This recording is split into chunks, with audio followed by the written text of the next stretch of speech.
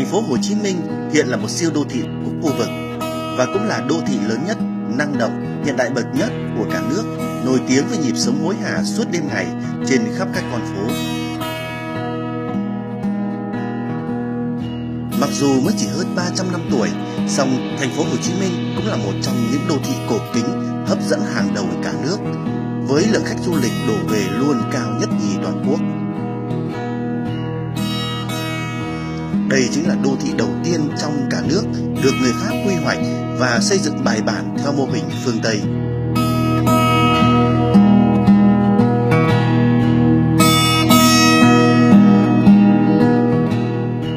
Tờ bản đồ quy hoạch đầu tiên của Sài Gòn năm 1862 chính là dấu mốc quan trọng đánh dấu sự ra đời của đô thị Sài Gòn xưa.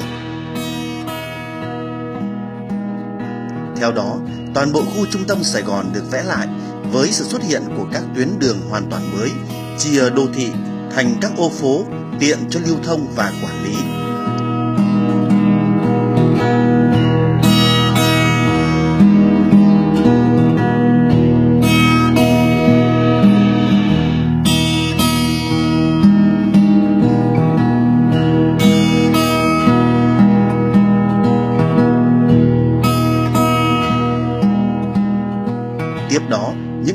Hành chính đầu tiên của chính quyền đô thị cũng được thiết lập với sự ra đời của Ủy ban thành phố Sài Gòn năm 1867.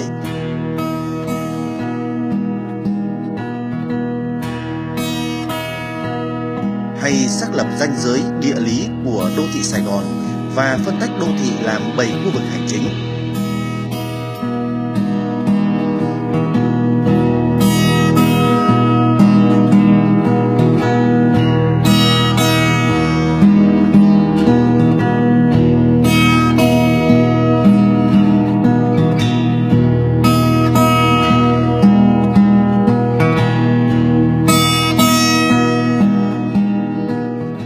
Phân giới đô thị bằng cảnh quan thông qua các tuyến đường hay bằng tổ chức hành chính thông qua việc phân ranh và thiết lập chính quyền đã tạo nên những nền móng đầu tiên cho một đô thị hiện đại kiểu phương Tây của Sài Gòn xưa.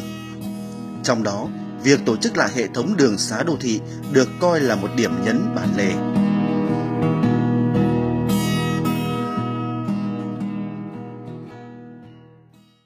khi mà hoạch định các trục các trục tuyến giao thông thì nó cũng dựa vào các công trình công cộng các điểm các nơi mà à, người dân người ta đi nhiều để đến giải quyết vấn đề giao thông và phục vụ cho người dân. Thì chúng ta thấy là cái chợ Sài Gòn mình đó, ở ngay Nguyễn Huệ Hàm Nghi ở khoảng giữa đó gần trụ sở ngân hàng. Thì trái thì nó mới chuyển về đây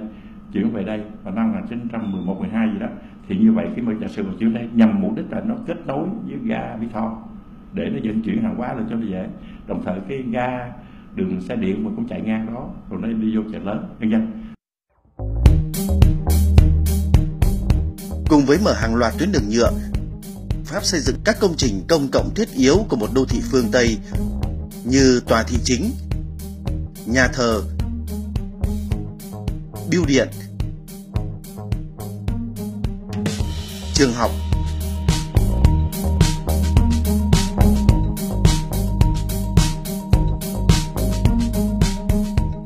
bệnh viện,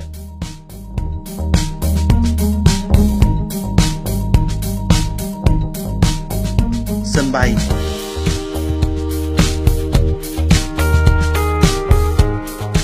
chợ, xe công cộng.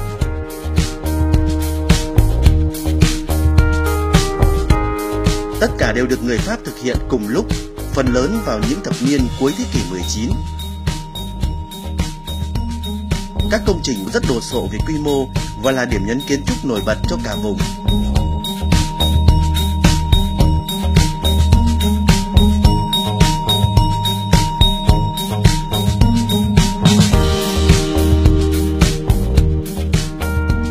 Những nguyên vật liệu mới, thiết kế mới cùng kỹ thuật xây dựng tiên tiến nhất của phương Tây nhanh chóng được chuyển tới Sài Gòn để tạo nên một tiểu Paris ở phương Đông, nhằm phô trương thanh thế của văn minh Pháp.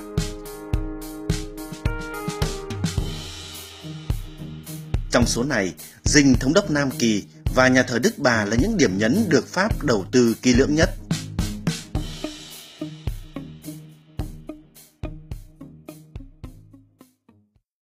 Khi một cái à, thế lực viễn chinh đến một đất nước nào đó thì xây dựng họ phải xây dựng đầu tiên là thế quyền, tức là những cái cơ cơ sở hành chính chính trị để cai trị cái đó và sau khi cơ sở những cái cơ sở về biểu trưng cho thế quyền là dinh thống đốc mà người pháp đã xây dựng ở đây thì người pháp nghĩ đến cái xây dựng à, một cái biểu trưng của thần quyền. À, theo văn hóa pháp cũng như là cứ mỗi đô thị thì phải có một cái một cái nhà thờ. À, một cái nhà thờ đó để đáp ứng cái cuộc sống tâm linh của người dân thiên chúa giáo.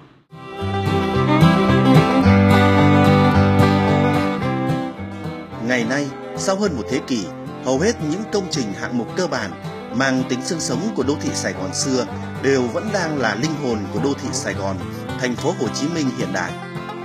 Tất cả chúng vẫn hầu như còn nguyên vẹn, vẻ đẹp tráng lệ của thuở ban đầu và là những di sản sống trong đời sống thường ngày của hàng chục triệu cư dân thành phố. Đó cũng chính là sự độc đáo, làm nên sức hấp dẫn của một Sài Gòn, thành phố Hồ Chí Minh năng động, trẻ trung nhưng cũng rất cổ kính, tráng lệ trong con mắt du khách thập phương, nhiều thập niên qua.